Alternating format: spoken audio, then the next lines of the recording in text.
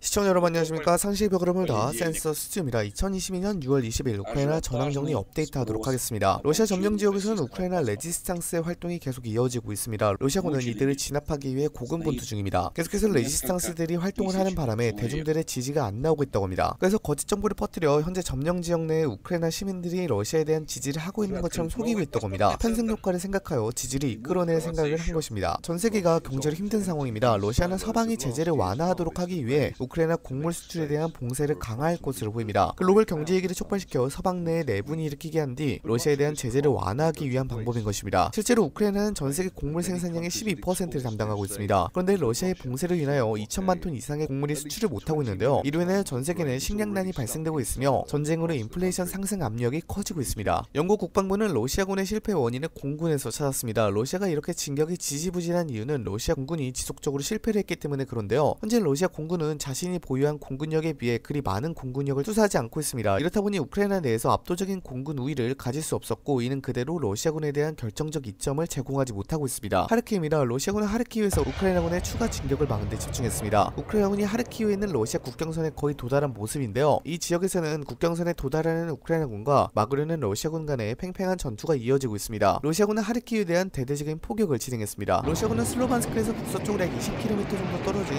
보르디친에 대한 공격을 실패했습니다. 슬로반스크 주변에는 우크라이나의 요새가 견고하게 지어져 있습니다. 이로 인하여 슬로반스크에 대한 공격이 많이 힘든 모습입니다. 러시아군은 리만 주변에서 계속해서 공습을 펼치고 있는데 아마도 이 지역에서 재편성을 하려는 우크라이나군을 방해하려는 의도인 것으로 보입니다. 현재 러시아군은 세베르도네츠크에만 집중을 하고 있어서 슬로반스크로 진격할 가능성은 없어 보입니다. 러시아군은 세베르도네츠크에서 아조트 화학 공장을 제외한 모든 지역을 함락시키는데 성공했다고 합니다. 이로 인하여 세베르도네츠크도 조만간 함락이 되지 않을까 싶습니다. 우크라이나군은 다음 주쯤에 세베르도네츠크가 함락될 것이라고 예상 하기도 했습니다. 러시아 지도부는 러시아군이 루한스크주 행정 경계를 6월 26일까지 점령할 것을 명령했다고 합니다. 러시아군은 토시키프카 주변의 장비를 축적하고 있으며 동쪽에서 세베르도네츠크 작전을 지원하기 위해 세베르도네츠크 북동쪽으로 약 40km 있는 스타로빌스크의 장비를 옮기고 있습니다. 러시아군은 다음 주까지 산업지대를 완전 점령하기 위해 계속해서 병력과 장비를 보낼 것으로 보입니다. 러시아군은 바하무트, 리시안스크 고속도로를 따라 공격을 시도했으나 실패한 것으로 보입니다. 체첸군은 T1302 고속도로를 따라 우크라이나 병참선을 차단하는 노력을 지원하기 위해 졸로테에 대한 공격을 이어나갔습니다. 앞서 말한 것처럼 다음 주가 세베르도네츠크 함락으로 예상되고 있기 때문에 러시아군이 계속해서 공격을 하고 있는 모습입니다. 남부전선입니다. 이곳에서는 서로 간의 포격전만 있었습니다. 자포리자에서는 우크라이나군의 공격을 대비하기 위해 병력과 장비를 집중하고 있습니다. 고속도로를 따라 요새를 만들고 있는 것이 확인되었습니다. 오늘도 발빠른 우크라이나 소식 전달 노력하겠습니다.